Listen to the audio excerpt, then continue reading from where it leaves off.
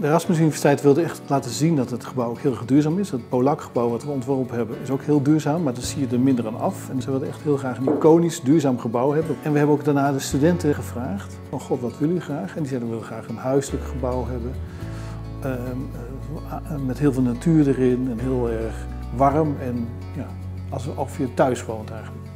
En toen kwamen we op het idee van nou laten we dan iets maken wat heel erg... Uh, met duurzaamheid te maken heeft en heel erg, uh, wat je heel erg kan voelen, dus met hout en met heel veel planten. Dus dat was ons thema. En toen kwam we op het idee van nou laten we dat atrium wat in het Polakgebouw in het midden zit, naar de plaza schuiven, zodat je ook goed kan zien. En dan maken we daar een soort van boomhut, zou je kunnen zeggen, waar studenten kunnen studeren.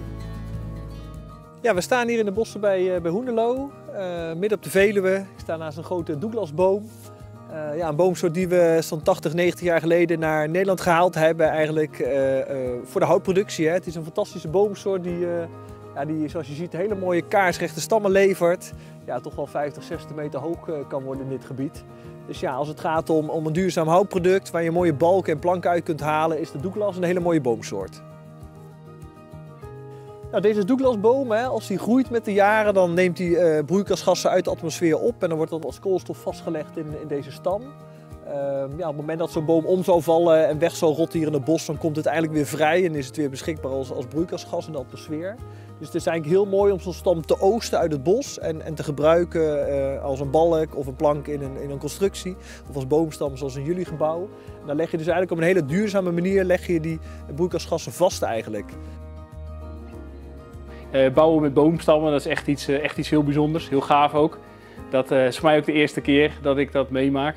Ja, vergt wel heel veel aandacht en denkwerk met elkaar om dat op een goede manier te integreren. De, de, de BAM heeft gevraagd of wij dat project konden regelen. En dat is niet alleen de, het leveren van de boomstam, maar ook het maken van berekeningen. En daar, dat gaat gepaard eigenlijk met dat je dus een bepaalde uh, criteria aan de boomstammen stelt. Dat is rechtheid en een bepaalde diameter. Dus wat wij gedaan hebben, is dat ik dus op zoek ben gegaan naar een van onze leveranciers. Met degene die de houtverkoop doet bij Staatsbosbeheer. En samen zijn we het bos in gegaan.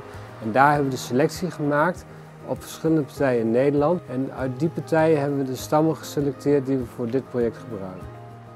En de moeilijkheid eigenlijk van dit project is dat er vier stammen in zitten van 20 meter lang.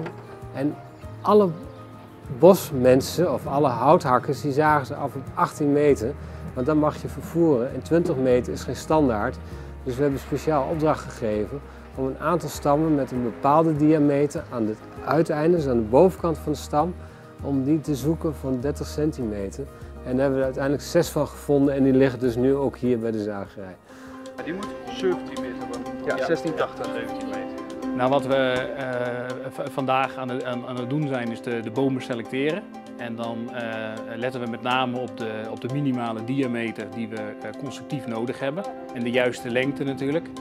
We hebben vandaag hele mooie boomstammen aangetroffen, zeker. Dus dat wordt een super mooie samenspel straks in het atrium. En uiteindelijk kun je hier weer mee bewijzen dat je met gewoon Nederlands hout een fantastisch project kunt realiseren. En dat vind ik leuk van dit project. Kleintje. En dat iedereen vindt het altijd moeilijk omdat het rondhout is en niet kunnen berekenen. En uiteindelijk zijn wij in staat om hiermee gewoon uit de stam, die gewoon uit Apeldoorn komt, of uit de gemeente Roosendaal, om te zagen, te bewerken en een geweldige bijdrage kunnen leveren in een heel mooi gebouw.